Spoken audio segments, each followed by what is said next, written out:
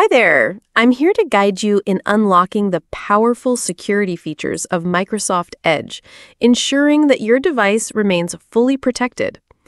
Microsoft Edge empowers users by deleting browsing history, cookies, site data, passwords, addresses, and form data when all in private windows or guest sessions are closed, ensuring a private browsing experience on shared devices.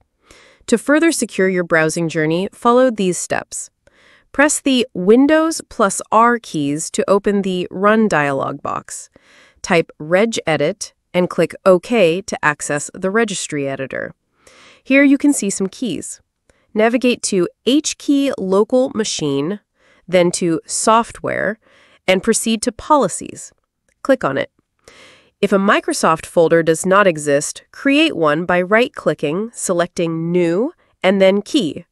Name this folder Microsoft and create a subfolder named Edge within.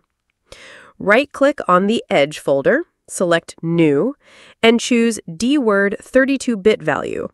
Name it Browser Guest Mode Enabled.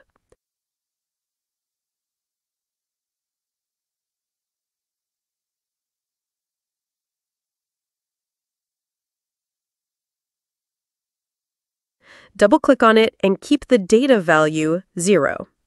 Then right-click on the Edge folder again, create another new DWORD 32-bit value, and name it In Private Mode Availability.